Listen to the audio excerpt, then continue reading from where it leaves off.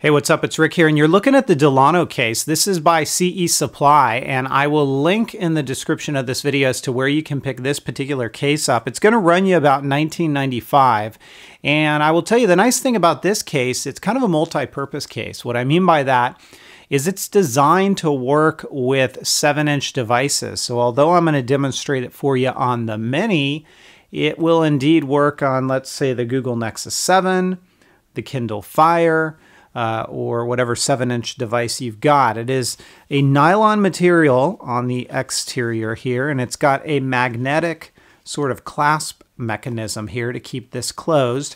The inside is a very soft uh, grayish microfiber. You've got some branding right here for Mobile Vision in the bottom left hand corner. And inside here, we've got kind of a tuckaway area. You can put some uh, papers or whatever it is that you want to put right back there.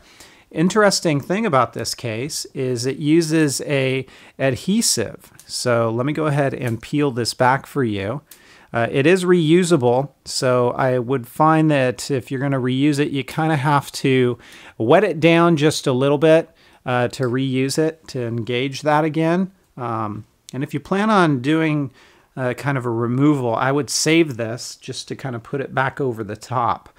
Uh, now, the way that this works is you saw how I did that.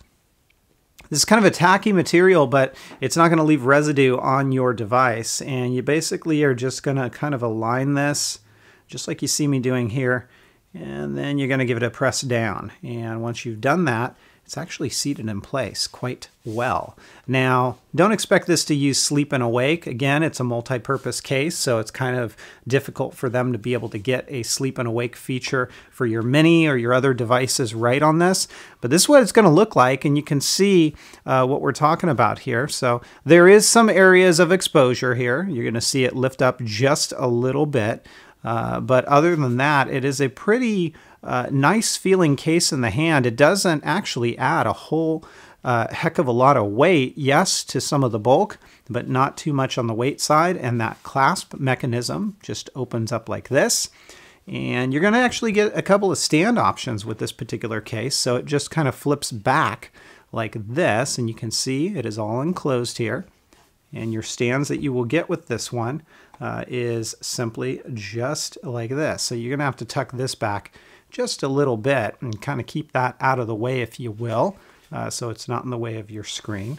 Uh, but you do get a uh, stand mode like that. You can lay it back for a typing angle. And again, that adhesive works pretty well. So uh, you can actually flip this upside down and you can see your device is not actually going to remove from this. So this is the Delano. Now, if we talk about removal, let me go ahead and show you. It is a little bit uh, tricky. You just go slow. You never want to rip these sorts of things off. Just kind of take it slow.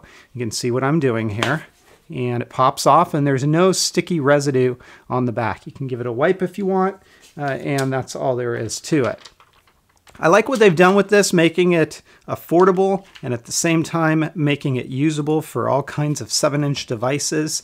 Uh, it would have been nice to maybe have a couple of other stands and a way to maybe put a magnet back here so you don't have to have this kind of in the way of your screen at times, but overall, not a bad case. It's the Delano, it's reasonable, and I'm going to give this one a 3 out of 5. If you guys have questions, comments, or feedback, as always, please feel free to let me know. Otherwise, I'll talk to you next time. Take care, everybody, and have fun.